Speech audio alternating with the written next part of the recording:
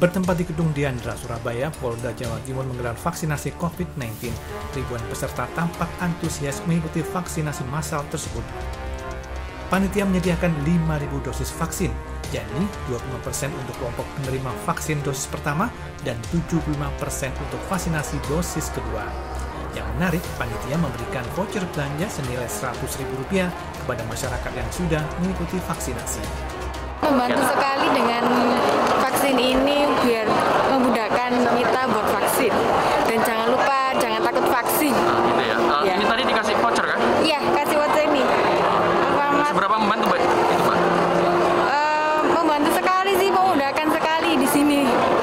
sampai hari ini kalau kita bicara masalah presentasi untuk vaksinasi pertama Jawa Timur kan masih dalam angka 20-an persen. Apalagi yang kedua itu masih angka ke 9 persen. Mudah-mudahan ini bisa membawa Jawa Timur khususnya masyarakat bisa tervaksinasi. Sasaran vaksinasi ini data yang kita dapatkan kurang lebih 25 persen ini akan melayani vaksin pertama.